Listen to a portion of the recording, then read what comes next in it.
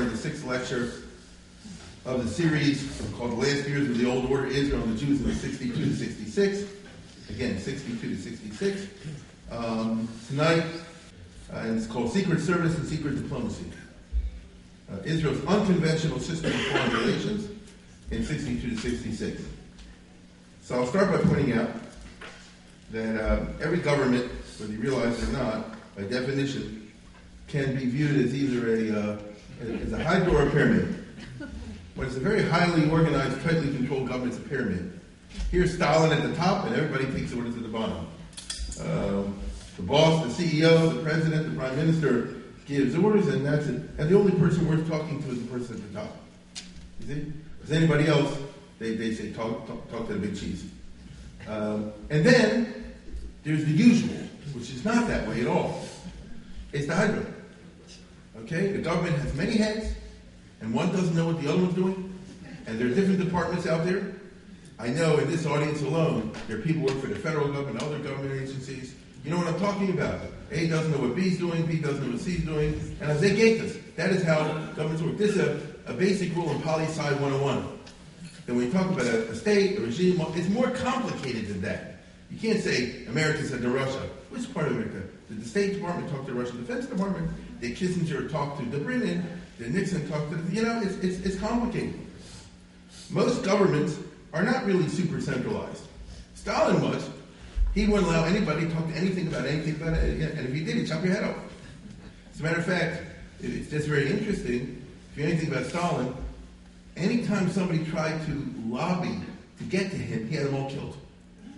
One of the reasons, one of the reasons, he had all those Jews killed in 49, 50, and 51 was because Solomon Mikhoels, who was a big Jewish guy, the actor who had a lot of influence, tried to influence Stalin in a certain uh, way and, and, and through his daughter. Because his daughter time was married to a Jew, believe it or not. And oh my God, the result was he killed them all. So that's unusual. You've got to be willing to do that. Usually, it's more complicated. Today, for example, take a look at the U.S. at the very top. You got your State Department, your Defense Department, your CIA, and there's a lot more than that. Okay? I'm not bringing the NSA. Some of you will shoot me. You know, that's my point. And and you think they all think exactly the same, and they have constant meetings. Hopefully, hopefully, to try to coordinate, so that the left isn't frustrating what the right is trying to do. The right arm and the left arm. Um, to give you an example that we're all familiar with now in an unhappy way, the Iraq War from a couple years ago under under Bush. You remember this? Uh, he was against it, Colin Powell, correct? Uh, he was for it. He pushed it through Rumsfeld, and it got it, it got to happen. The State Department said exactly what happens is we'll break it, and then we'll own it, and the country will fall apart. It'll be a mishmash, and Americans will get killed, and all the rest of it. Now that means that the U.S. spoke with a forked tongue, or like a hydra. As you and I know, it so happened President Bush decided to go with Rumsfeld over I mean, we know this. I'm just simply using it as an example to show that we see America or France you can't really do that if you want to get down to tachlis. You see, um, you have to know which whom to lobby, which bureaucratic buttons to push. It's actually fascinating if you study the 2003 Iraq War. This one guy, I don't know if you remember, he died not long ago, Ahmed Chalabi, well, some jerk, Iraqi guy. I'm serious. This Iraqi politician. He got the Cheney, and he got the Rumsfeld, and he and, and, and they were able to get to Bush and around all the rest of it. And he said, when the war's over, the, the masses will welcome me as the hero Iraq. Nobody ever heard of him. He got up the thing, and they wanted to kill him. And in other words, Bush just made a big mistake. And I like Bush. He made a, a, a huge mistake. So I'm trying to show you getting a government organized and that all the horses should pull in the same direction and with the same goal is more rare than, than, than, than one would imagine. Okay? Uh, this goes back to the very beginning of our country. In the American Revolution, we would not have survived and won the American Revolution without the help of France. I'm sure many of you know that. Americans could not do it on their own. They had to get support of a great power, just like Israel couldn't survive without support of a great power. At that time was France. Well, uh, how did it work in France? Benjamin Franklin knew that if you go to uh, Vergennes, who was the foreign minister, he won't give him, uh, one, no, I said wrong. If you go to Turgot, who was the, the finance minister, uh, he said, no, France should not get involved in an expensive war to help America. we will go broke we're already in bad shape, we'll have a revolution, which was true. But Vergennes, the foreign minister, hated England so much he said, let's do it.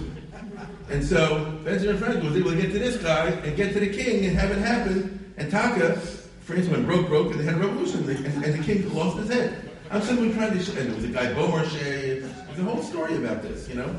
And uh, it's once again a question of knowing whom to, lo- which particular button to push when you deal with a government. Uh, the very foundations of Zionism. You go back to Theodor Herzl. And at the time of Herzl, he wanted to get help from Germany. Well, Kaiser Wilhelm wasn't interested in, but one of the German princes, the Grand Duke of Baden, that's the ruler of a country within Germany, right, uh, was the uncle of the Kaiser. And for some stupid reason, he liked Jews. And therefore, and he was pro-Zionist. So Herzl was a smart guy. He said, I can't get to him this way, but I can get to him that way. And he did. And that's why there's this famous meeting of the Kaiser when he visits Palestine, I think in 1900 or something like that, that famous picture. And once again, you say you want to talk to Germany, you got to know which particular one. Now, anybody here in the audience who's ever been in AIPAC or one of these lobbying things knows what I'm talking about. Because you go to Capitol Hill, you go to the different departments, it depends who you talk to. Some are pro-Israel, some are against Israel. Isaiah gave this. Right? Um, Israel, again, in First World War is a classic case. Go to uh, Chaim Weizmann, and let's put it this way. Asquith, the Prime Minister of Israel, was very strongly against Zionism in the sense that England should get involved in that sort of thing. On the other hand, Balfour Lloyd George were in favor of it. And Chaim Weizmann, in 1915, 16, 17, went around the back of this one, and this one, and this one, and that one, to get to Balfour and Lloyd George. And in the middle of 1917, the way the British politics happened to work out, it so happened that Lloyd George became Prime Minister and Balfour became Foreign Minister. Oh. And Lord Curzon and many others were opposed to this. And so England gave a Balfour declaration. Well, what's England mean? You, get, you got to know again which button to push. So I'm trying to get across the point. It's not a pyramid usually, it's a hydra. It's not a pyramid. And uh, we all know what happened in 1948 with Truman. Uh, Marshall was against Israel. Forrestal, the Secretary of Defense, against Israel. Eddie Jacobson. Remember? He knew it. So he didn't talk to him. He didn't talk to him. He went to Truman. Everybody knows the story. And Clark Clifford was Truman's campaign manager and, and counsel, and he says we should do it there. So in other words, the Jews tried to go here, it didn't work. But if you go here, it worked. So once again, you see over and over again this uh, phenomenon, and it can multiply many times, of a government being uh, monstrosity, which therefore means the, the correct lobbyist knows where to go, or will learn how to go. So what exactly is a government? Uh, what I just said is also true about the state of Israel. When uh, the new state of Israel was formed in 48 and 49, there was a public face, and Ben Gurion was the, uh, the prime minister, as we all know, the defense minister, and Moshe Sharett was the uh, number two, the foreign minister. These were the two powerhouses of the Mapai and of the government, and they were the public face of Israel. But then there was the other face of Israel, uh, Reuven Shiloah, most people have never heard of. He's the guy who organized the, the spies. He made, made, made the intelligence community, and he's the one who hooked up with Walter Bedell Smith, the General Smith, who was the head of the CIA in 1951. Uh, who knows about this? And so, at the same time, when the State Department wasn't interested in talking to Israel under Acheson, the CIA, for some reasons, was interested in talking to the Israeli spy, what eventually called the Mossad. So once again, you're talking about which part talks to which part. Uh, the best example of what I'm talking about, at least in my mind, that's all you're going to get over here, is the remarkable story that I've told before of this guy, Don, who was, he jumped as a parachute with Hannah Senesh. That probably means something to you. Okay, because everybody heard of Hannah Senesh. So he jumped as a parachutist in World War II, except that she got caught, he did not. As soon as he landed, it's quite a story. And he wrote a book called Blind Jump, which I would recommend to read, everybody should read. And he uh, parachuted into uh, Romania, but immediately saw that the whole plan was wrong. He hid inside of a mikvah, believe it or not. And now I'm serious, because the Germans would kill him. The lucky thing for him is the Russians busted into Romania early in the war, in the middle of 44. This saved his life. And as soon as that's there, all of a sudden Stalin's in control. And then this guy, Shaike Dan, was a super dedicated Zionist of the old school, you know. So he, uh, and Hungarian Jew. And uh, what do you call it? He started working on Aliyah, secret Aliyah. Get the Jews on a boat, send them to Palestine, and that sort of thing. And this is all he dedicated his life to. And here he is in 45, 46, 47, those years, running from one Balkan area to another, trying to get a shipment of Jews and put them in an illegal boat and send them somewhere off to Palestine, uh, communist Romania, communist uh, Bulgaria, communist Yugoslavia. And he gets arrested in Yugoslavia. And this under Tito, who was a terrible dictator and was very vicious to people he didn't like. And here is his Himmler, you know. Here's Rankovic, the guy in charge of the secret police. They don't play around over there. You understand? First they, like I said, first they roast you, then they baste you, then they turn up to 350. You know, this, this is how it works. This is the Balkans. This is how they still do it. And he gets brought in in front of the Rankovic, who's the head of the, as I say, the KGB over there, whatever, whatever they call it. And he says, all right, come clear before we torture you. What's going on? Who were you? Because we see crossing the border back and forth all over the place. They're working for the British. They're working for the Americans. What's going on over here? And he said like this, the jig is up, the heck with it. So he said, I'm going to tell you the truth. I don't give a darn about America. I don't give a darn about Stalin. I don't give a darn. I'm a Jew. I'm working for Israel. We're trying to put a state together. You know this. You know, you're Serbians. You know what the Jews, what the Germans did to us. So there you have it. I don't care about nobody. I only care about my own people. And this guy, believe it or not, who was the vicious thing, he said like this, you know, he said, I believe you, and I don't blame you a bit. I'm going to help you. And he took out a thing from this drawer, and he filled it out, and he said this, is a Yugoslavian diplomatic passport. Now you can go wherever you want. Nobody will bother you. And it really happened. And for the rest couple years, he's running all over the Balkans. And he, just to give an example of what I'm talking about, as soon as Israel became a state in May 48, he went to Bulgaria, the Grabi government, and let 50,000 Jews out. That's the first group that went out. And later on, he was with Romania, and you know, but they brought him out one by one. I'm just simply trying to tell you, who do you go to? If you get the right person at the right place. If you went to the Romanian government, or the, excuse me, the Yugoslavian government, or the foreign ministry, or this and another, probably wouldn't give him the time of day. He happened to touch base with the right guy. What can I tell you? And so you see this happening over and over again. And my point is that there exists in the modern governments, uh, ever since World War II, certainly, if not beforehand, one branch of the government called the spy service, or the intelligence, the secret police, and various other names. They're just a power in the government. Maybe they didn't exist long, long ago, but they certainly have been there since the middle of the 20th century, if not earlier. And a domestic spy service and a foreign spy service, an FBI and a KGB simply become something that belongs to every, that every country has, without exception. Okay? But how they how, how they happen? You don't happen overnight. And so, um, what exactly is a government? Now, in the early years of Israel, there was a process of the evolution of the Israeli intelligence system under the Ben Gurion era. Okay, Ben Gurion knew he wanted to have a spy service. He needed one, a foreign uh, uh, intelligence and a domestic intelligence. Understand me very well over here. I'm not referring to the military intelligence. That's a separate thing. Every country in the world has an army, the army has a G2 and military intelligence, which they want to find out about the enemy. So that's one thing. But the new, that's always been there. The Chiddush I'm talking about is a civilian intelligence operation. Okay? So, for example, the CIA was created in 1947. It's, fairly recent. You understand? Before that, they didn't have that. Uh, similar types of institutions are in many states, many countries.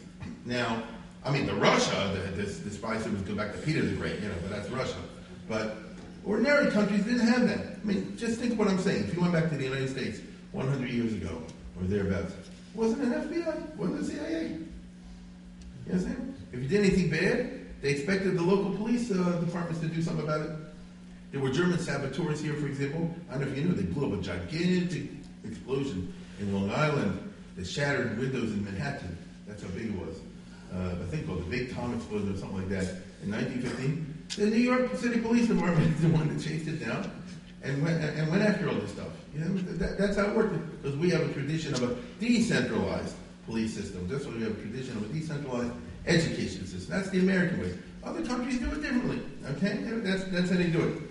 Now, um, the early years of the Israeli intelligence, meaning trying to put together an effective FBI and CIA, were messy, ugly years. A lot of mistakes were made. People got killed uh, for the wrong reasons. They uh, uh, up a lot of operations. It's what happens. You understand? A baby, when he starts out, has diapers and makes his pants. That, that, that's how they learn what to do. That, and, and Israel made plenty of mistakes that uh, they're not crazy about talking about today. But by September of 52, that's already four years, Ben Gurion decided that uh, this guy, this guy was very brilliant, Reuben Shiloah, Zaslensky, you know, from, from Shearim.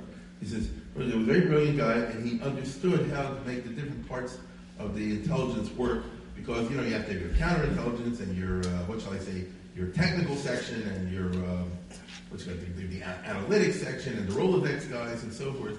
He knew how to do that sort of thing. but he was the opposite of a good manager. And you need, among other things, someone who can actually make an organization work, and that wasn't him. And so instead, by 52, the, Ben Gurion just said, the heck with it, I'm naming this guy the boss of the whole thing, boss of the FBI and the CIA. That's a very powerful role. Harel, who was for the next 10 years from 52 to 63. September 52 to June 63, he was El Supremo. Hamamuneh, they call it. There's only been one. Mamun in this state sense means the boss. And that's a lot of power for a guy to have, agree? Because he controls all the all the spy things. You know, I would say I was going to bury or Himmler. You know, I mean, they had that kind of power. You know, this is supposed to a democratic country, but the Ben Gurion era we talked about, it. he wanted to have that kind of power in somebody that he uh, could trust, and uh, and that's what he did. Now there was a military intelligence in addition to this.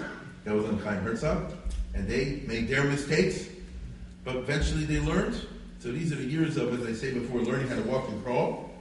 And uh, Isser Harel, as this very powerful uh, person, also primo, in um, Israeli intelligence, he uh, fostered and established uh, close relations uh, with the CIA. Became a thing where he was professionally close, not personally, with uh, Allen Dulles and uh, with McCone who came after him. not in a social sense, but in a professional sense. You may perhaps remember that he's the one who got Allen Dulles the secret speech of, of Khrushchev in 56, which was this big CIA coup where Khrushchev says Stalin stinks, and then they put on the front page of the, of the New York Times. that was not even a Freudian So He says, uh, he says uh, which was a big blow, a, a gigantic blow to communism, for example, and certain things like that. And what I'm trying to tell you is like this. So Israel is developing a clandestine reality in which they're establishing relations away from the media. Nobody can see it. With important elements, in this case, of the United States government, and nobody talks about it, but it's there and it's a very important component of how Israel looks at the foreign policy. That's why an average person can't understand. You know, read, read a book by a political scientist in place in 1958 or 59 and talk about Israel's foreign policy. Know what they're talking about. You, you know what I'm saying? They, they look at uh, official papers by the Israeli Foreign Ministry, speeches by Ben Gurion, public things. That's not where the action's happening. You know what I'm saying? I'm going to show you tonight. The action's happening somewhere else. It's like being in a shrink's office. It's not this, it's that over there. What? It's over there. You see? And, uh, and this is the reality, it becomes a dominant reality of Israel's foreign policy in many areas. Uh, believe me, he establishes relations with the CIA, unfriendly relations, but they know who they are. They each one leave the calling card. You follow? And this is this is what happens in the in, in the fifties. Um, the CIA, the KGB is able to penetrate the uh, Mossad in certain ways, so they know exactly what's going. on, But they know their capabilities, and um, one of the traditions of Israel is Israel kill somebody they don't like. They have no problem with killing people. And, is, and the KGB, they respect that. oh, listen, this, this, is a real spy service.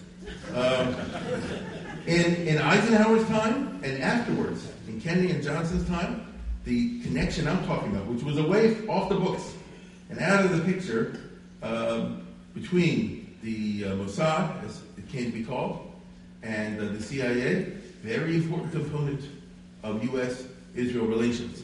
Uh, here's James Angleton, who was like number three in the CIA, very, very important figure. He was Israel's guy. He actually had two jobs. This is his official uh, designation, which is, will just show you what I mean. He was head of counterintelligence. That's a huge operation, right? If if the Russians are trying to penetrate the, the CIA, there are movies and books and novels about this now. Yeah, Russians penetrate the CIA. He's supposed to counter that, right? That's number one. And he also was in charge of Israel, which which, which is interesting because it's not given out to a desk uh, officer, which is the way it usually is. Who in the CIA is in charge of France? Who's in charge of Burma? who's in charge of uh, Indonesia. There's a guy in the regional area. So it should be theoretically, and the CIA should be the Middle East uh, thing. And one guy's in charge of place of Egypt and Libya, and one guy's in charge of Israel and Lebanon and Jordan, that sort of thing. But it's not like that. There's, it's just interesting. The, the bureaucratic games show you, I argue, what I'm talking about. There was a thing called the Middle East desk in the CIA, which is in charge of all these Arab things. And then there's Angleton, who's in charge of Israel. Meaning, when Israel wants to talk to the CIA, it's a special thing. They don't go to the little guys. They go to the guy at the top. He's number three. And he talks to right away to Allen Dulles and the guys after him. And so there's a special position, a special privilege in the CIA. The public doesn't know this. You wouldn't get this from reading the Jewish Times, from the Hadassah magazine, the public doesn't know this. This is all off the, totally off the books. But believe me, I'm not doing it this year. When Israel goes to war in 67, they want to know what does America think about this. So I even will go and talk to Johnson. It'll be a waste of time. But Meir Amit will go and talk to Angleton, and they'll say, well, here's what we really think.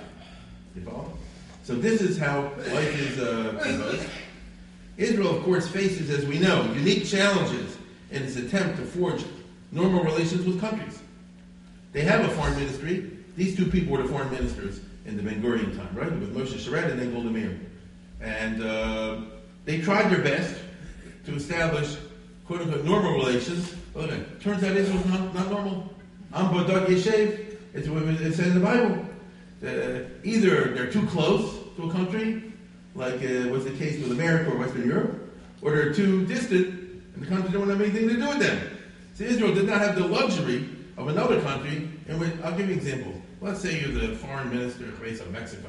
What's your problem? You know, you want us to make a treaty with Japan, the Philippines, uh, Africa. You can do it. You know, you work it out. It's in your interest, not in your interest. It's a normal country. Like they say in Israel, New Zealand, you know. New Zealand wants to make a deal faced with, uh, you know, Japan. So you do it. Israel wants to make a deal with this country. Huh? Doesn't work so easily. Why not? As we all know, as soon as you're friends with Israel, you invite the enmity of the whole Arab world. And a lot of people, a lot of countries say, who needs that? I don't blame them. Furthermore, diplomats as a social class, certainly in the 20th century, usually don't like Jews. Uh, where did the diplomats come from in this country? Uh, I believe. I'm talking about WASP, I believe. Where did the diplomats come from in England? Oxford, Cambridge. Where did they come from in France? Similar backgrounds, and the rest of it. That ain't the social class that likes Jews. So Israel's never going to have an easy time trying to go the foreign ministry route. You understand? J- j- just get over it. All right? Um, Israel, furthermore, was a small, poor country. But, you know, even though we have these problems, uh, there may be elements in the other governments, not the foreign ministries, more amenable to the development of a relationship. You might, for example, be able to hook up with the, uh, with the military of that country. Classic example we saw, France, right? What did Shimon Peres do in the 50s? He ran a, he went to the Kaiser say, went to the foreign ministry to get in. So he went to the generals. These guys, General Kidd, I think General Kidd was Ogin Yisrael. You know, he's one of the 36 Tzaddikim. And General Shaul was the chief of the staff for many years, uh, uh, many years uh, of the uh, French army. They used to have like three, four times a year they would get together with Israel and share information. They're very privileged.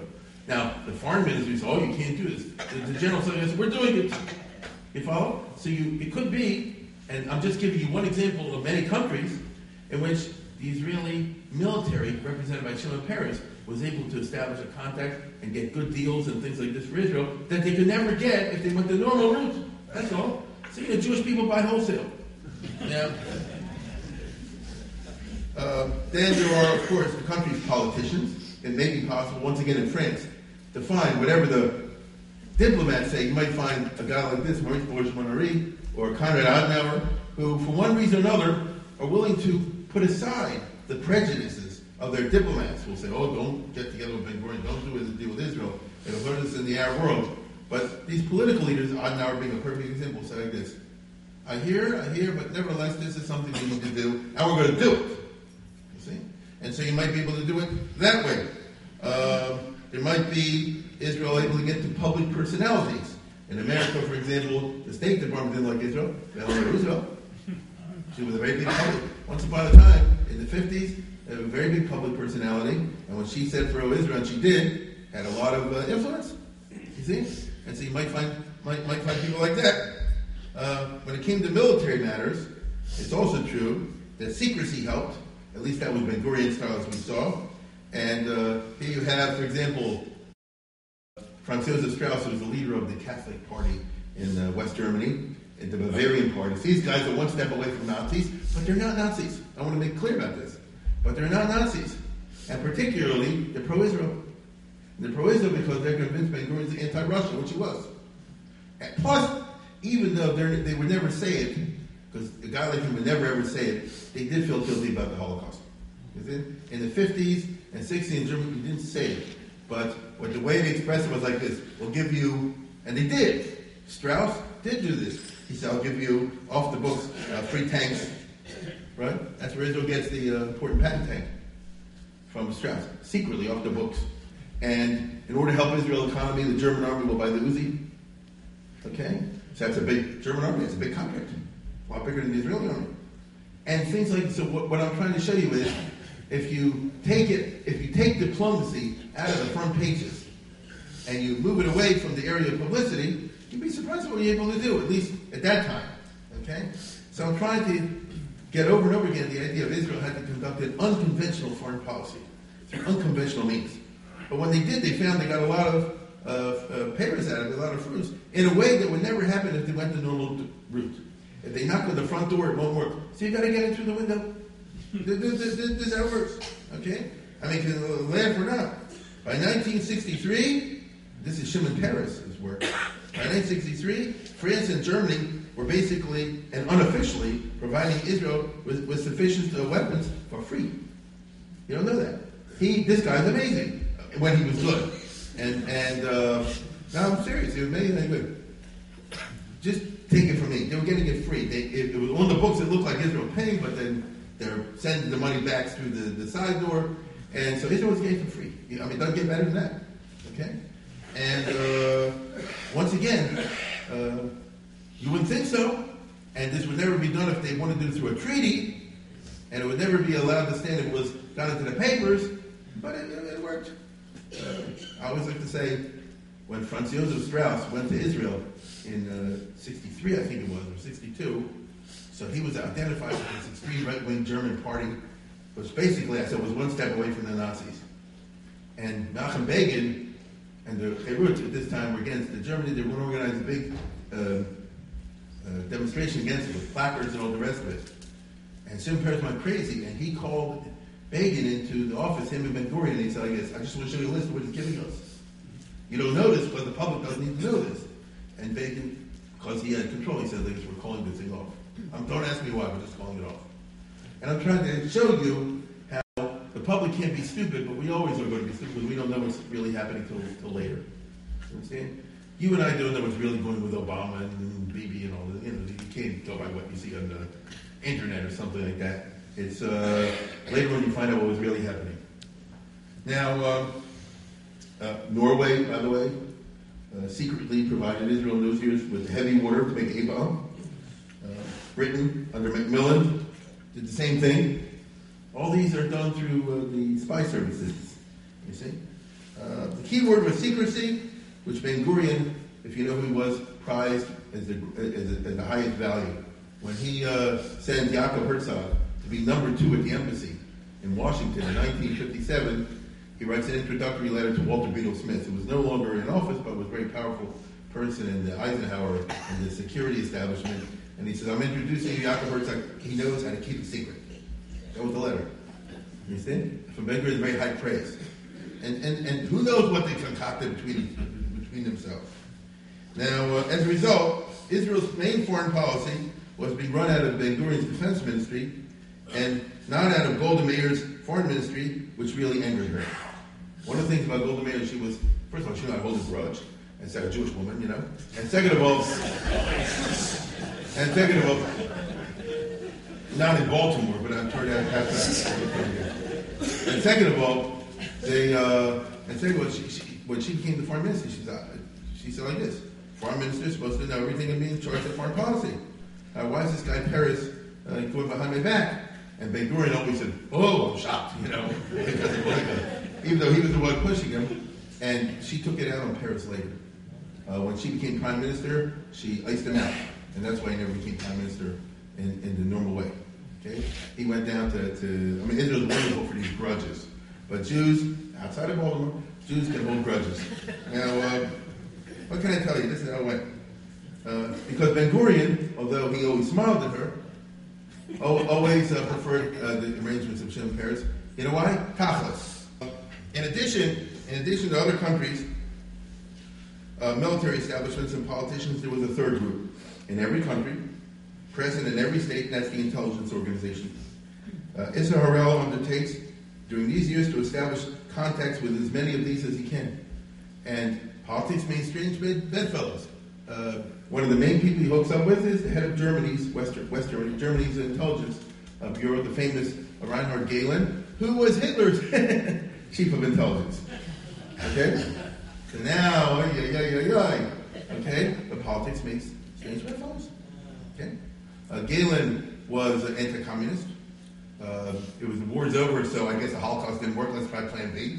And uh, by the way, the CIA built the CIA gave him a billion dollars. You don't need to build him up because they knew he was very good at the intelligence. We, we could debate how it's successful, but his his image was that of a very successful spy master, and he had German spies and things, or at least he thought he had German spies all over Eastern Europe. And anyway, he was an important person. Now, let me tell you something. Uh, Gehlen was very valuable in the 1960s. I'll just give you an example. Because you say like this, oh, I'm shocked that Israel's getting together with the ex-Nazi, probably was continuous being a Nazi. Well, let me tell you something.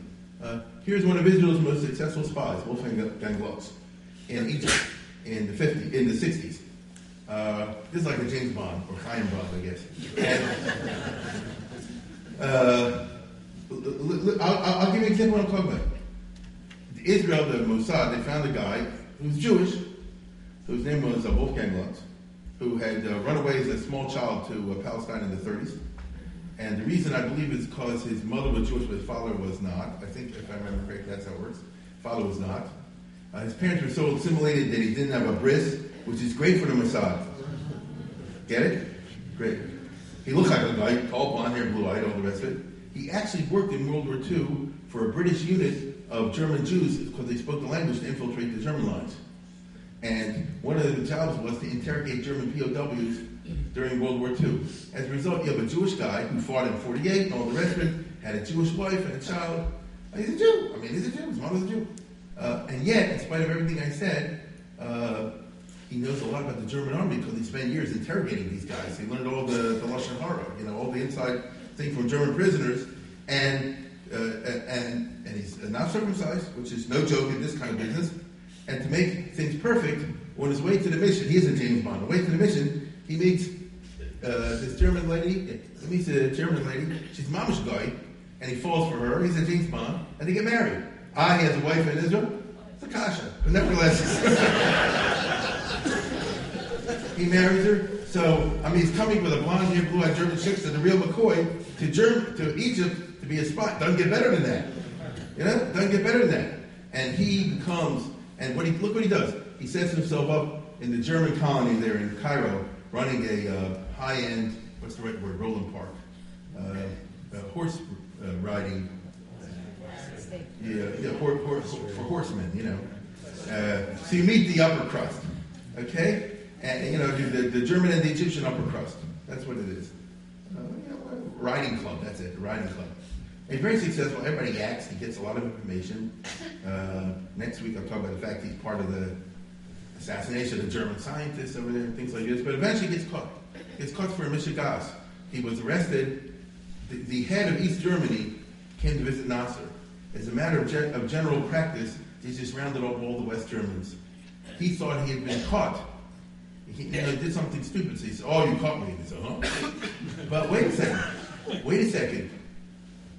I'm a German spy, not an Israel spy. I Spying for Germany. That's a different story.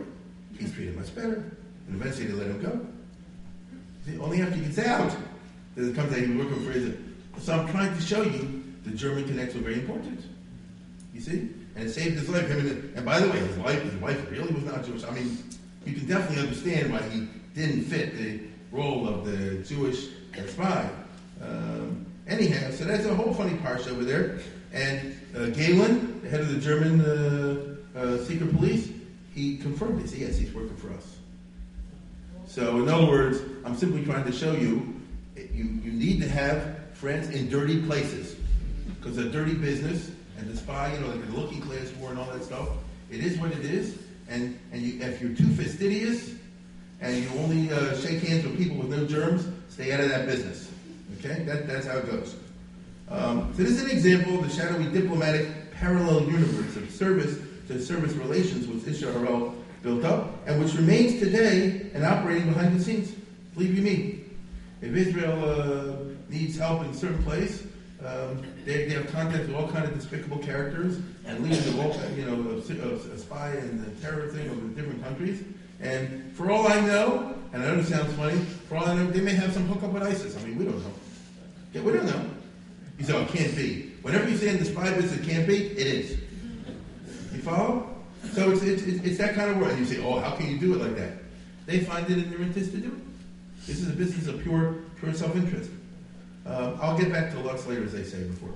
Israel establishes very close relations in the 50s with the French SDECE, you know, the Service de Documentation Extérieure et Contre-Espionnage, which was the uh, spy operators um, under the Fourth Republic and under de, Gaulle's early years.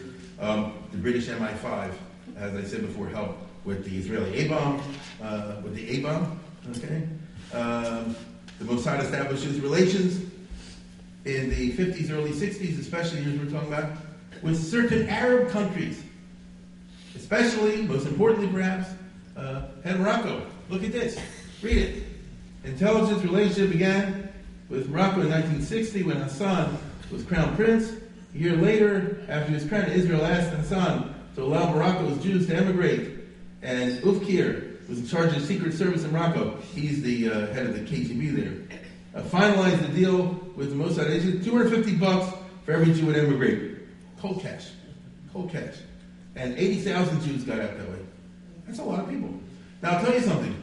Uh, you can say like this, he did it for cash. He was doing them a favor. You know, the Arab countries don't want to let anybody go. And so, if you read the paper, you say, oh, Morocco's a terrible country. They always vote against Israel in the UN. They curse him out. They do this, that, and the other. All of which is true. And then there's the other reality. you understand? Then there's the other side of it. Now, King Hassan II was the son of Muhammad V. Muhammad V was the king of Morocco for many decades. Um, his son was French educated, all the rest of it. But he was very dictatorial in his, uh, in his way. And he was determined not to go down like the Shah, and he didn't. He left it to his son, who's still there today. Uh, so it's very interesting. Officially, Morocco passes all kind of anti-Israel laws. Officially, Morocco prohibits aliyah. Secretly, the Mossad, as I told you, got to the king, and the, and the big aliyah is, is, is. Morocco, in fact, uh, let's put it this way. Israel has an embassy in Morocco. It's the Mossad embassy. See, it's not, they don't go to diplomatic uh, uh, functions, things like that. And the head of the Mossad embassy in Iran was the later Prime Minister of Israel. That's what he was. He was in uh, Rabat and Fez. And uh, when he wants things done, he doesn't call the foreign ministry. He has another number he calls. And things get done. Now, they don't do because they like Shamir. It's, it's what do you give me, what I give you. It's a dirty business, as you'll see in a second. Um, King Hassan has enemies. He was not a nice guy. He can count only on the Mossad. Well, you never let the Americans. The Americans might be hooked up with some liberal elements in Morocco, and so you, you, you get what I'm saying? But Israel is in his corner. The Mossad trains his intelligence service, which imposes royal control down till today. In other words, Morocco is to a certain extent a police state. And the reason there's uh, law and order and, uh, what shall I say, quiet, and I've been in Morocco, perhaps some of you have also, it's the only Arab, I mean, could you take a tour, could I lead a tour to Syria, to Iraq, to Egypt, to Libya, to Tunisia, to Algeria? Where are you going to go? Oh, we got to go to Saudi Arabia and Yemen. Yeah. Morocco, yes, every day. Right? Morocco, why? They don't love the Jews. The king's in charge, and they don't mess around. And if you've been over there, as I have, there's a lot of security, and they know better. You don't mess with the Jewish groups. They come in for a day, they spend money, they leave. You know, get it like that. So this is messy, and it gets more messy. In 1965, middle of our period, uh, King Hassan does Israel a very big favor. He allows the Mossad to tape, to bug, the secret Casablanca Arab Summit. Okay? Uh, this is where Nasser gives a secret speech. We cannot militarily beat Israel. So here's Nasser and the fam- you understand all the Arab countries get together for a summit conference in this huge luxury hotel. Hassan is totally fine. The, the Mossad bugged every room, the bathroom, the bedroom, everything. Okay? Uh, so this is an intelligence bonanza for Israel. Get it? You hear all the pillow talk, all the, the, the lunch and breakfast talk, all what the real what, what real people are really thinking. I mean, if you're back in Tel Aviv, analyze this is a gold mine. You follow? Now, wait a second. Question, of course, becomes what? No. But what do you want to return? I got you something for Hanukkah. Anything get me? Okay. Turns out Hassan was a favorite. Uh, the leader of the Democratic, well, it's complicated, but the leader of the left wing opposition, most uh, you know uh, important uh, political figure opposition king, Ben Barka, Mehdi Ben Barka. The leader of the secret police, Oufkir. These are the two big names in Morocco. Oufkir and the king, they want this guy uh, rubbed out, okay? And uh, and it, so here's what it is. So this whole debate in Israel, whether help or not, but they had, they said they were going to do it. So what do they do? First, they uh, the Moroccan secret police at that time still like the Keystone Cops. Can't get anything right, and so it's a mess. You can go and look this up on the internet if you care to. Uh, where is this guy located? The Mossad has professional ways of finding where people send letters to and get the newspapers. He's hiding out in Switzerland. How do we persuade him to get to France? The Mossad will, do, in other words, they'll do everything except pull the trigger. You follow? Uh, they don't want to, but that's what happens. And uh, they, they lure him to a certain place in Paris, and they get him in a car, and he's driving on the road, and, uh, you know, at a certain point, the Israelis uh, withdraw, and the Moroccans move in, the secret police, and they torture this guy. But they're only supposed to torture him get information. But being jerks, uh, they, they stick his head under water too long so he dies. Understand? And then what do you do? You say, oh, we got a body in the middle of France. What are you going to do? How, how do we get rid of the body? Because otherwise it'd be impossible. Seeing themselves as uh, uh, Israel, very professional, very messy. Say, oh, so we have, when, when you put him in the ground, put some water and then put this dust, acid, eat up the body. That's how it works in this France, right? So basically, they did a Jimmy Hoffa on him. Okay? and there's actually a road you drive over, everybody knows Ben Marcus, but they're just like if you go to, they went to the stadium or something, the third base is Jimmy Hoffa? The, uh, now, wait a second. This is the ugly business. And what's Israel, you know, doing, helping these guys uh, torture, because that's what they did, and capture this other guy? They did it. Understand? Now, nobody's supposed to know about it, and nobody found out about it, but it's not true. Things like this get out. First of all, de Gaulle, the head of France, uh, had a cow. He, uh, you know, this happened in French territory. I wasn't told about this. This is a strong violation of sovereignty, which it is. Israel wouldn't usually bump somebody off unless it was an Arab country. You get it? They don't want to make an enemy of, of, of a regular type of country. Um, so de Gaulle uh, found out that the French Secret Service was all in bed with them. There's the Mossad and the SDECE and the Moroccans. So he found out about the SDECE, so he disbanded it. Right? He put it to an end. So angry that he put away and he made a new one, which is Gaullist. You understand? Totally under his control. Sounds like he played hardball. Okay? Um, he broke relations with Morocco. And to this day, France has relations with Morocco, but very unfriendly. They have, because Morocco has never apologized what they call the Ben Barka affair till this day. They deny it. It's the Arabs, you know. They deny it. And so uh, we're back to, uh, what you say, uh, the, you know, uh, Erdogan and Israel, and you're going to apologize, I want to apologize, we're not going to have anything to do with you. Um, at first, the Mossad role was not known. But you know how it goes, like, like in Shalom Aleichem, like in Kisrael, kid gets out. Jewish style. One tells the other, you know, uh, don't tell anybody, don't tell the other. It's Israel. And uh, just before uh, Ben Gurion had resigned, this is something I'll talk about in a few weeks, uh, he had a big fight with Isser Harel over the German scientist. Ben Gurion quit in June. This, this happened like a week or two before he quit. And Isser Harel quit on him. And as always in Israel, he, he was sure that Ben Gurion said, so please, please come back. And it didn't happen that way.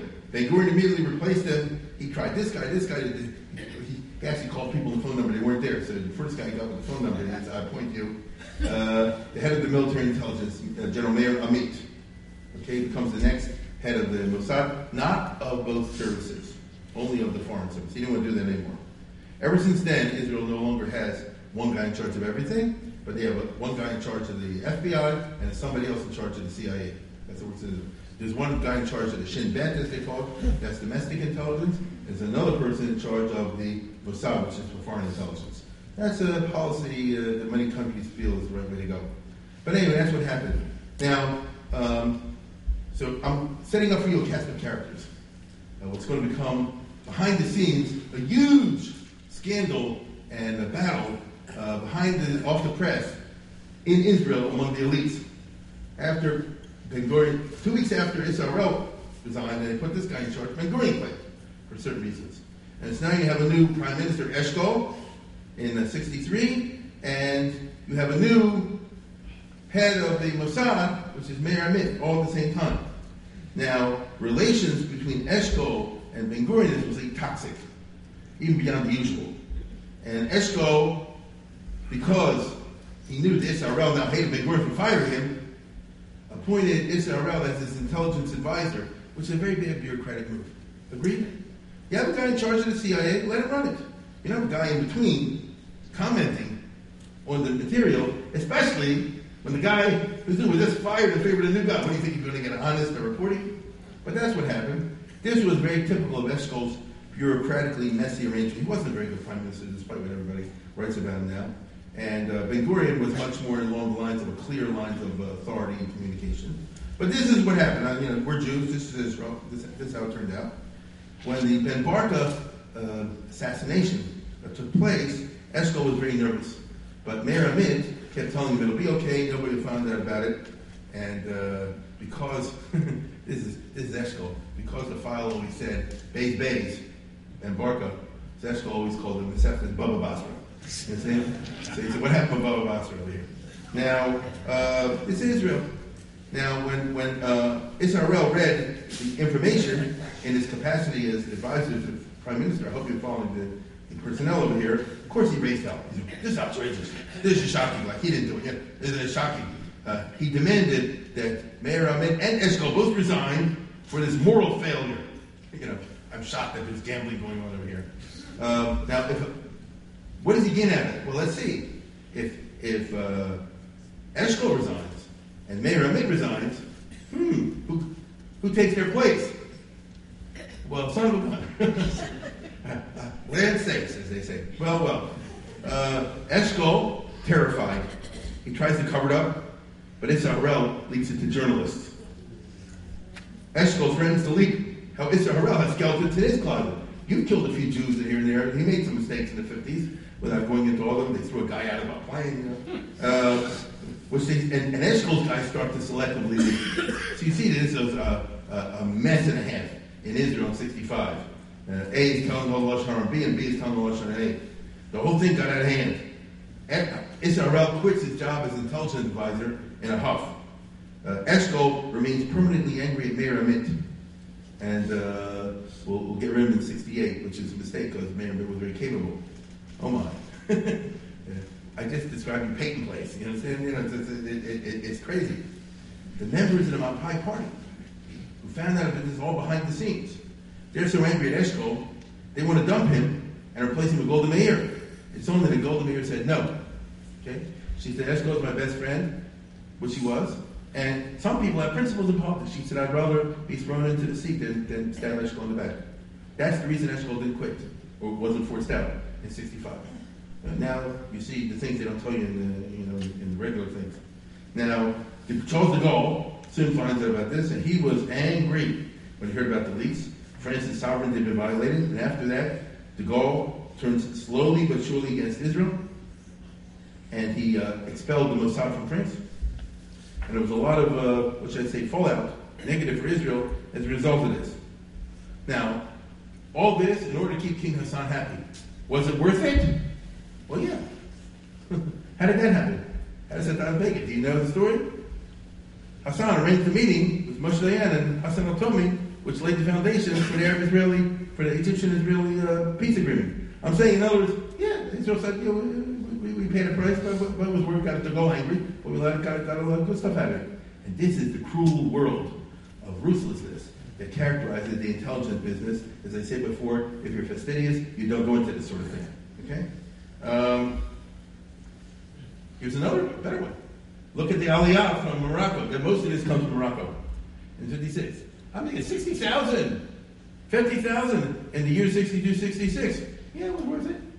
See, that, that's how I calculate. If you ask Meir Amit, was it worth it uh, bumping off a prominent Moroccan? Yeah. wasn't, wasn't pleasant, but we want to keep Morocco happy, so they do us favors. And that's how the world works.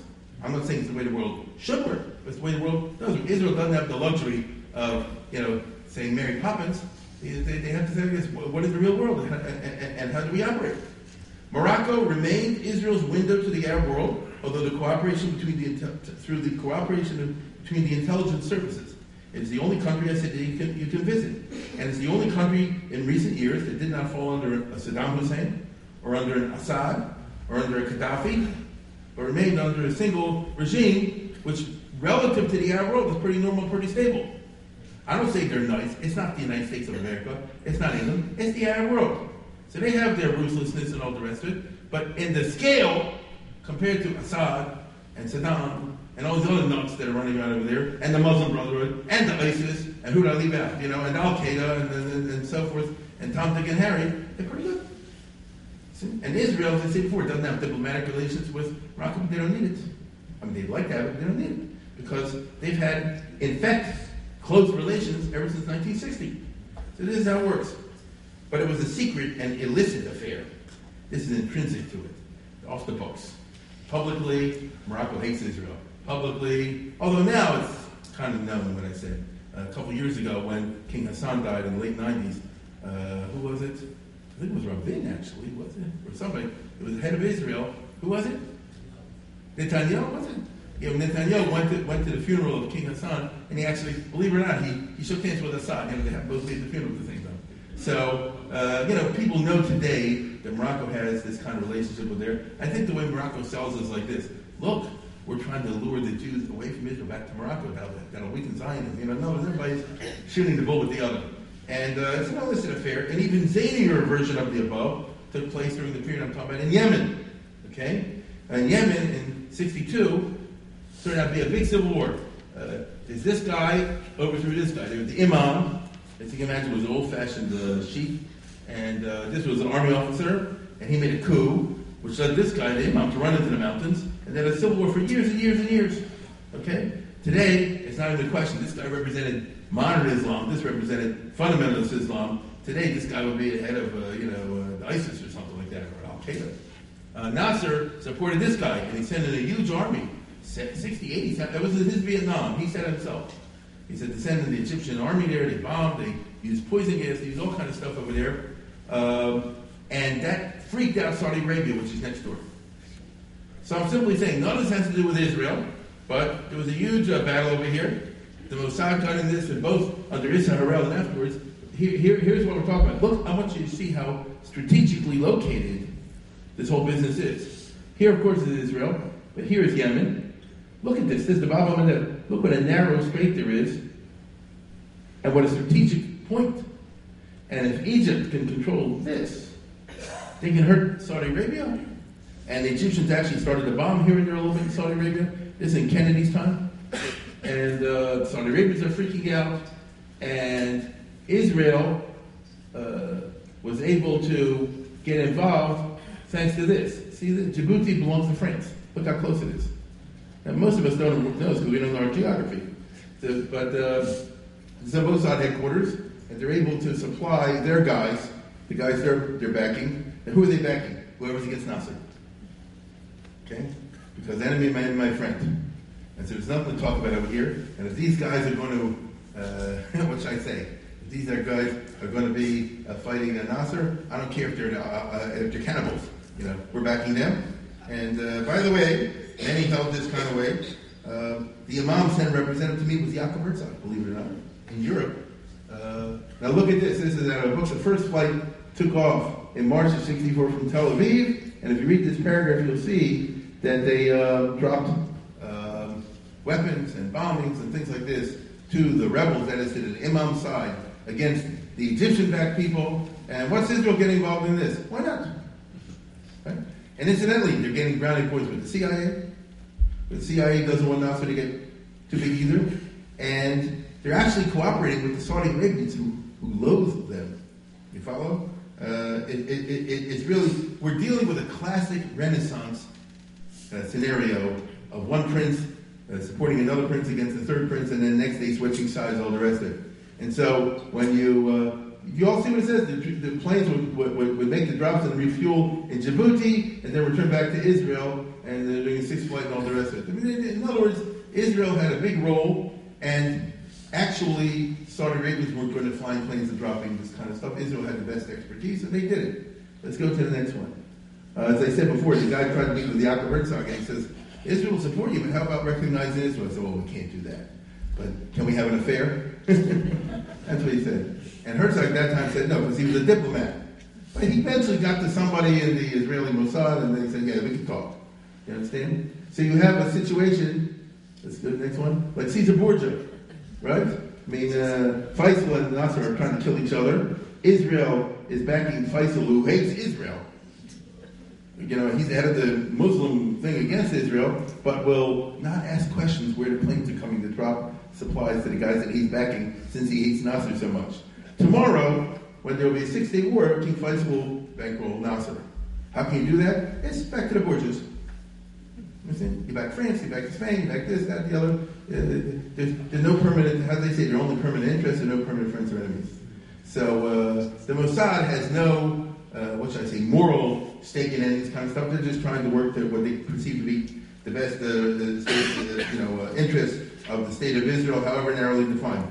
On the other hand, they do get, the Mossad gets a lot of brownie points with the CIA, which means in realpolitik terms, that uh, in Washington, D.C., uh, that most important of capitals to Israel, though the State Department is stacked against Israel, the CIA, which is one of the most important power centers, is pro-Israel.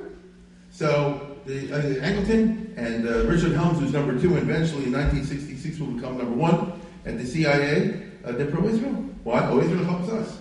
What about the overall picture? That's true also, but Israel. We, we have a special relationship with the Mossad.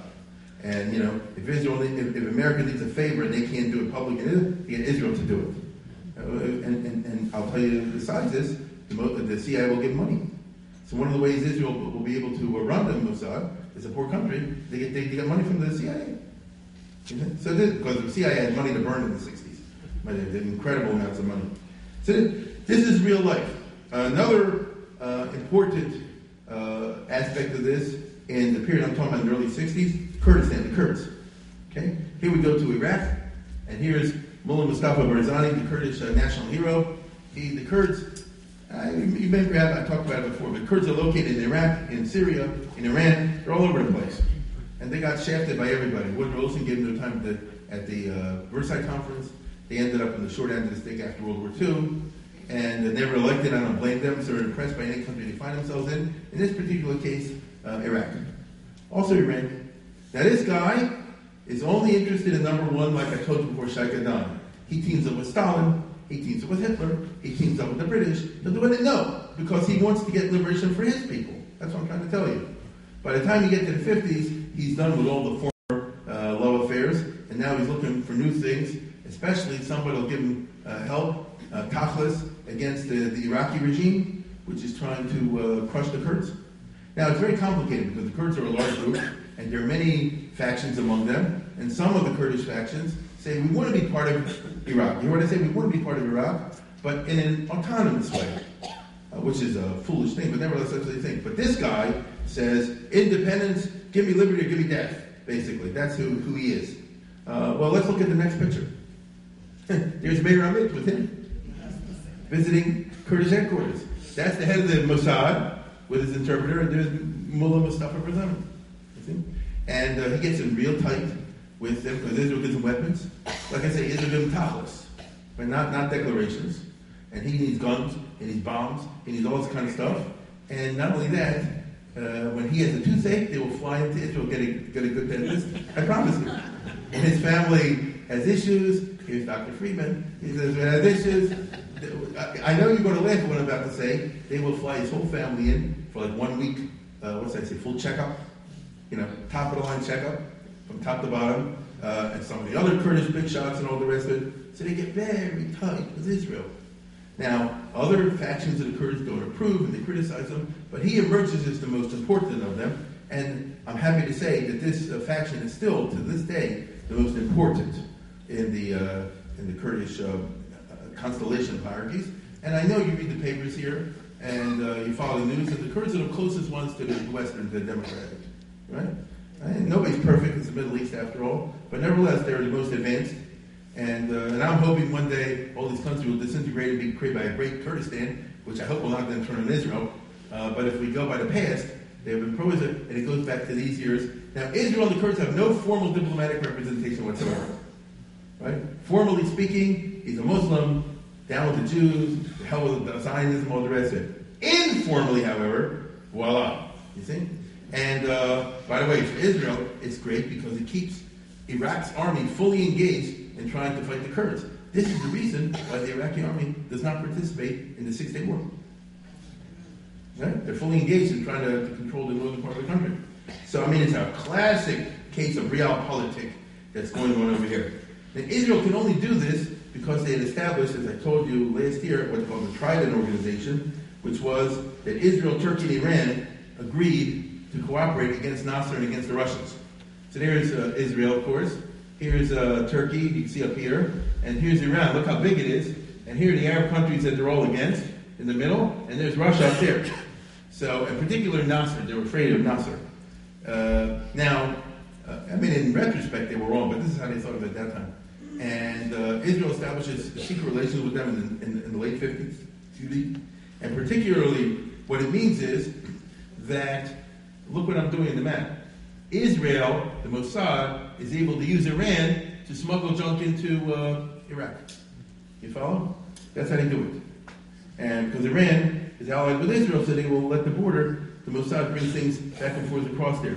Uh, how does Barzani go to the Israeli hospital? Uh, easy. You just go here and then take a plane to. You follow? Well, literally, you take a plane this way because you can't go through the airs. But it can be done. Um, I'll tell you something else. Iraqi Jews, the ones that were stupid enough not to leave in 51, had reason to leave afterwards. And uh, Israel has a long time uh, secret Mossad operation to smuggle these small number of Iraqi Jews out of Iraq uh, this way, through Iran. Understand? And uh, the Iranians love the Jews. No, the Iranians don't like the Jews. The Shah doesn't like Jews. But it's a marriage of convenience, like I say. It's like Caesar Borgia. And so the result is that uh, there's a big Israeli mission uh, in uh, in Kurdistan, and uh, that's the dominant political reality. I told you before. Let's go to the next one. They had one time been hooked up with Stalin, but that was over, and that didn't work anymore. So Israel the new boy.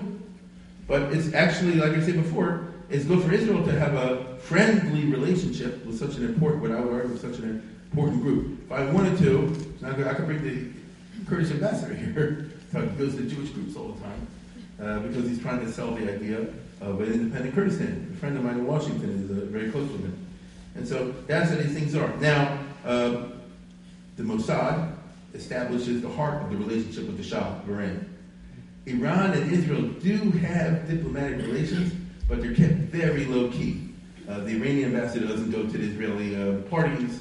Um, if you knew how it was, they had a, a, a small low key place without any flags flying over there. In 1950, for certain reasons, the Shah recognized, Iran recognized Israel, but they always regretted it. But they were afraid of breaking because they needed money from Washington, D.C.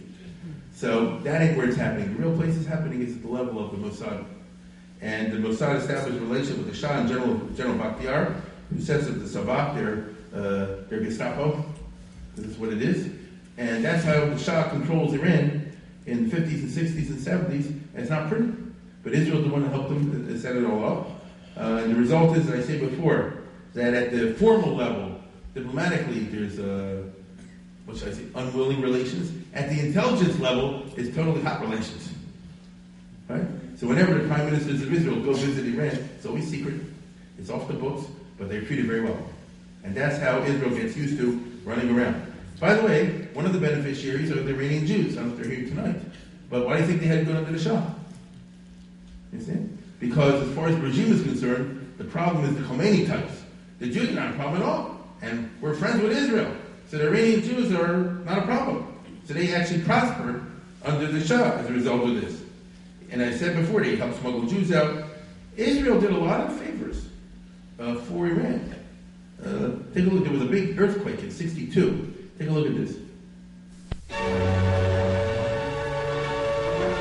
First pictures from devastated Iran show the effects of the earthquake that is but the beginning of a week of nature's rampaging around the earth. Here in a vast area west, northwest, and southwest of Tehran, violent quakes in one short minute took the lives of over 10,000 persons. Twice that many were left homeless.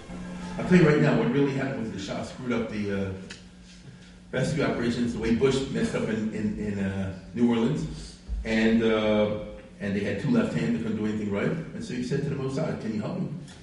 He said to the Mossad, can you help me?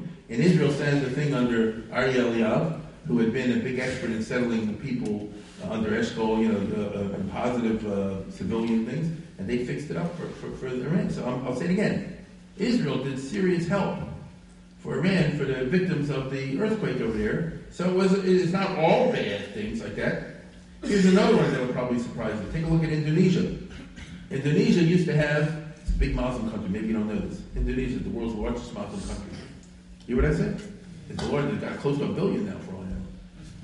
Billion and a half. The, uh, the Indonesia has a huge, has a huge, uh, but they've never been very militant. But the leader was a Muslim, Sukarno. I don't know if that name means anything. You have to be old enough to remember that. And he, look at this. He was always buddy buddies with Nasser, head of what they call the non-aligned movement with Tito and Nehru and all this stuff. So uh, he, he's obviously very anti-Israel.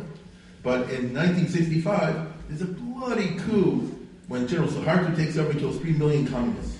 You understand? Three million communists. And uh, the reason he didn't kill more was there weren't any more. And uh, Suharto is, is, a Muslim, but he's an Indonesian first. And uh, he's worried about the communists coming back, all the rest of it, Israel. and so once again, the Mossad establishes an office in Jakarta with very close relations with the Indonesian government. You wouldn't imagine this. It's the farthest thing that one would have thought of. And, and, and at the public level, Israel's bad news because it's a Muslim country. You understand? This is happening during the 60 War and those types of years. And they're tighter than tight because, once again, intelligence has a life of its own. And the regime feels Israel is a factor in their favor. The Mossad has a lot of um, skills and information and junk like that that they can help us with. And they do. And Suharto, I think, was there for 40 years or something. I mean, it was a long time. He didn't leave that, that long ago. This is a long-standing uh, regime. And once again, people will turn up the nose, but in those years, it wasn't part of the ISIS, and it wasn't part of the Al-Qaeda. That's my point. You see? And so Washington was very happy with this. The West was very happy with this. But again, if you're an Israeli businessman, you could go to uh, do business in, in Indonesia, but you don't talk about it. As long as you don't make it very, very public. Here's one near, near Indonesia, Singapore, which perhaps you don't know what I'm talking about, is the richest city today. And uh, Lee Kuan Yew was the uh, head of Singapore for 50 years. He died not that long ago. He's the guy who made Singapore. Uh, he's Chinese, he can't speak Chinese, he's British. Isn't that interesting? Late in life, he had to take Chinese lessons. Okay? You know, he grew up under the British uh, Empire, very successful Chinese business family, went to Oxford or Cambridge or something like that. Yeah, yeah, yeah like that. And uh, I know you don't know your geography. Let's take a look at the next thing. Here in Singapore, it's next to this thing called Malaysia. Malaysia is the Malays, is Muslims. Okay? Uh, Singapore, Chinese. That's right. So Singapore doesn't, they're not Muslim, they don't want to part of Malaysia. For a variety of They tried for a short while, didn't work out. And so in 65, Lee Kuan Yew, who's a brilliant guy, he declares independence. And so Singapore will be its own Medina. It's not part of England, it's not, we're for, for ourselves. And I can tell you, and I'm sure many of you know, some of you perhaps have been in, you look like the crowd where some of you have been in Singapore, it's the it's 10% growth rate uh, since since the 60s. You know what I said? 10% growth in every year. It's not like another company. It's crazy. Prosperity is incredible. And I think we all know if you spit on the ground, they give you a malchus. Remember the American kid, he dropped the chewing gum and they beat him up? They whipped him? Things like this. You can't make a mess in the bathroom. I'm telling you, they take it, they, they, they take it very seriously. So, so it's, it's, it's a very well-run country.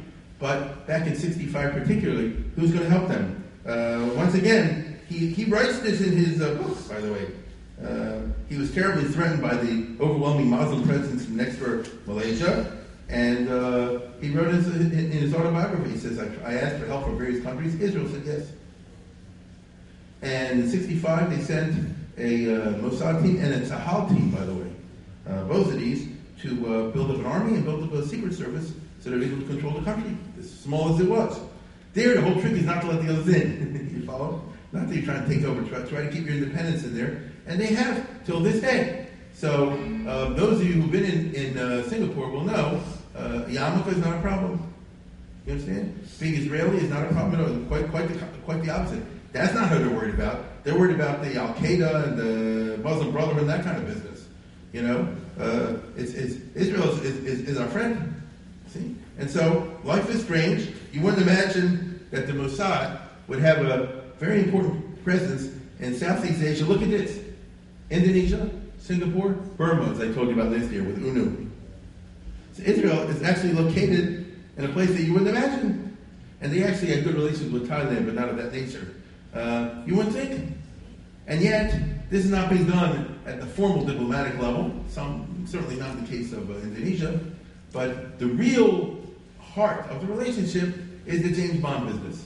You understand? So it's a. I'm just trying to show you how during the 60s, the particular period I'm talking about, Israel uh, develops very interesting and very useful and utilitarian sets of relationships with countries that would never be able to do if it was done through a formal date. Okay? Secretly, publicly, these countries treat Israel, um, they act like uh, they've always voted the UN with the third world. But secretly, they don't. Understand? I mean, these countries will always support anti-Israel in the UN. But behind the scenes, everyone knows it's very different. Um, as I said before, look at this. Uh, Lee Kuan Yew, who died recently, uh, wrote in his autobiography about how Israel helped him, which was quite, quite, quite unusual. Uh, I'll talk a little bit about Africa, and then we'll wrap it up. In Africa, as you know, they started the new states starting in the late 50s, early 60s. Um, Israel, as I told you last year, tried to get involved with all the developing nations, try to help them out um, for their own reasons. But nevertheless, uh, who cares what the reason is? If Israel is able to go to Liberia as they did and get rid of the eye illness, that's good. You understand? Whatever the reason is. And they did things like that. In Zambia, in, in, in, uh, in uh, what was it?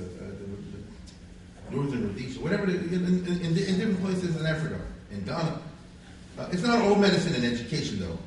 A big chunk of what these inter- countries are interested in is the Mossad. Because every one of these African countries, I'm sorry to say, turns into a dictatorship one kind another. That's what happens. And that means you need A, an army that won't shoot you, and B, you need a, a secret service that can spy on the population and do that sort of thing. That's the name of the game in the 20th century, second half of the 20th century. And uh, so the Mossad gets very heavy with both feet in Africa, except here it turns into a wild west, like you wouldn't believe, because there's another country that's trying also to penetrate into each every country in the 1960s, Red China. People don't know this. And the Red Chinese have something called the CSIS. They're so smart, the Chinese are so smart, you don't even know the name of their secret service. Get it? Uh, I'm serious. And so the result is something that you'll be uh, shocked at. Here's from a recent book, the, uh, because it's the Cold War, and Meir Amit is all angry at the Chinese. They said they want to walk all over us. And so he says like this to the Mossad in Africa, green light, you can do whatever you want, no holds barred. You follow? You deal with the Chinese, they're very rough, you'll be rougher. Take a look at this. Read this. These networks are used for more than Chinese networks, more than espionage, drug running, money laundering. Oh, I'm shocked uh, with about half the world opium on the doorstep of People's Republic of Thailand. He's there, the CSIS, which is China, worked a long trade against the smuggle, given Hong Kong's passion, and so on and so forth. Now let's move to, look at this. Let's go back one. Since 64, under control of Qiu Shi, tall, stoop man with a taste for French cognac and Cuban cigars, he was the chief in Africa of hundreds of spies and a budget for bribery and blackmail rivaled only by the KGB. The labor camps in central China were filled with those who dared to challenge Qiu. Mossad's psycho profile described the man whose entire career consisted of avoiding low-key moves. So here they sent a real rough character to run the Chinese spy operations and whatever they're doing in, in Africa. Uh, guerrillas who remained returned from Cuba were faded before did. And here, Kao Liang was expanding his operations all across the width of Africa and northern towards Ethiopia, Yemen, Egypt, provided terrorists substantial sums of money to launch attacks on Israel. Oh, you want to do that, do you? CIS regard Israel as a pawn in the hands of Washington and a legitimate target for what he called freedom fighters. Meir Amit, who was the head of Israel, he decided Mossad would go head to head against the CSIS. First, they wrecked the Chinese plot to overthrow the pro-Western Hastings Banda regime in Mali. Who ever heard of this stuff? Okay? Next, it informed Kenya about the full extent of the Chinese network in its midst. Later, the Nairobi government, Kenya, would show its gratitude in Entebbe. Keep going. The Oasis Club was closed down. That was a Chinese hangout. And its Chinese patrons were put on planes out of the country, loudly protesting that they were businessmen. Yeah, right. Get on their mouths. Now, uh, they were lucky. Several operatives would remain permanently in Africa, killed by Mossad agents, and left out in the savannas for the lions and the leopards to consume. Well, wait a minute. The more the Chinese tried to fight back in other African countries, the more ruthless the Mossad came. Notes, these are uh, Mossad hit squads. They stalked CSIS operators wherever they set up shop. In Ghana, a Chinese agent was shot dead as he left a disco with his girlfriend. In Mali, another had a car bomb. In Zanzibar, a fire consumed an apartment block where they lived. One of his field trips, Kao Liang himself, the head guy, barely narrowly escaped death when some instinct made him switch cars in Brazzaville in the Congo. The other vehicle exploded minutes later. In Zambia, was found bound to a tree for lions to consume. Okay? Wait a minute. We ain't finished. When, when the Nkrumah, the pro-Chinese ruler of Ghana, was on a state visit to Beijing, Mossad orchestrated the uprising that kicked him out of power. For three years, the Mossad waged its deadly war of attrition against the Chinese over the length and breadth of Africa. There was no mercy on either side. When a Chinese hit team ambushed a Mossad agent in the Congo, they fed him to the crocodiles and filming his, his last minutes in the water and sending the footage to the local Mossad. I couldn't make this up. He says he retaliated by personally firing a rocket into the building where the Chinese operated. Three Chinese were killed. I told you it's OK Corral. It was a, it was a gunfight, right? Finally, through an intermediary, the president of the Zaire, China let the Mossad know they didn't want to fight anymore. They find to share a common interest in stopping the Russians, which perfectly suited the Mossad's policy toward all superpowers, dividing them helps Israel to survive. Who knew this? Isn't it what, you read the Hadassah magazine? You read the Jewish Times? You read the New York Times? Who knew this? Who even heard of Hastings Banda, you know, except a few people? You get what I'm saying? I mean, if you live in Africa, maybe, but, yeah, but, but, but uh, the people in South Africa didn't know this kind of stuff was going on at that time. It's, uh, it's great. Uh, now, I want to tell you something. This, you're going to laugh at what I'm about to say, but this is the beginnings of the change in the attitudes between China and Israel. And China's like this. These Jews are so ruthless, they deserve our respect. you get it? Anybody who's willing to put somebody to the lions and have no hesitation to kill, oh, they're good. And as you know, it took 10 years till the change, and now Israel and China are supposed to be in good relations. Uh, we think. Where does quotes come from? Um, a book uh, by uh, Gordon Thomas uh, called Gideon's Spies. It's about the Messiah. Um, anyhow, the uh, listen, I'll tell you, this is the uh, Heinrich Himmler of Mao Zedong, Kao Liang. And he's the one who's telling us, boy, this is really impressive.